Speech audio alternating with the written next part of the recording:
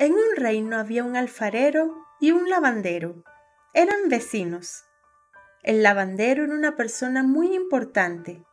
Era muy trabajador, alegre y tenía muchos clientes.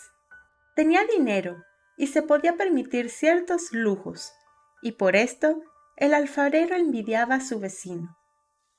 Tanta era su envidia que ni siquiera le dirigía la palabra.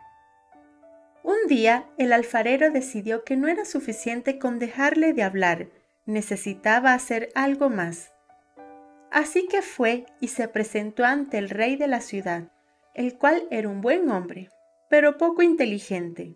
Así que aprovechando eso último, le dijo al rey, Su Majestad, su elefante es gris, pero es de mi conocimiento que mi vecino, el lavandero, conoce un procedimiento con el que podrá blanquear a su elefante. Si usted ordena que lo haga, se convertirá en un distinguido propietario de un elefante blanco. Al alfarero le tenía sin cuidado el elefante del rey. Lo que realmente le importaba era que el lavandero cayera en desgracia al no poder cumplir con una orden del rey. El lavandero perdería toda su clientela y así terminaría toda su riqueza y prosperidad. El rey llamó al lavandero sin perder tiempo, porque desde hacía tiempo deseaba un elefante blanco. Cuando le dio la orden al hombre, éste tuvo que contener la risa. Pensaba que era una broma, pero luego recordó que el rey no era muy inteligente. Al lavandero se le ocurrió de inmediato de dónde había sacado esa idea tan absurda el rey.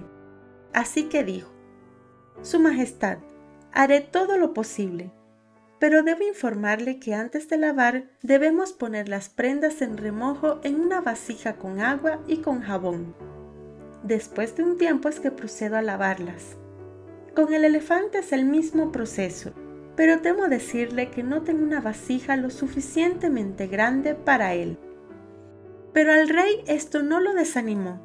Hizo llamar al alfarero y le dijo, He decidido seguir su consejo y lavar mi elefante, pero el lavandero me ha dicho que necesita una gran vasija para poder ponerlo en remojo.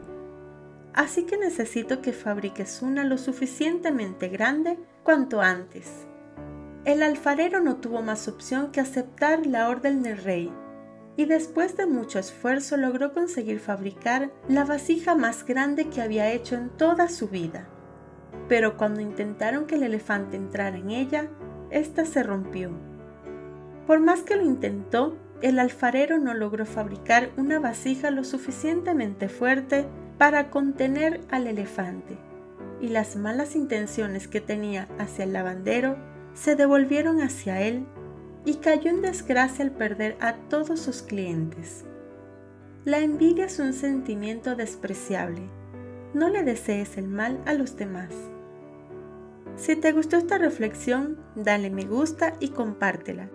Apoya nuestro canal suscribiéndote y dándole a la campanita. Gracias por ver este video.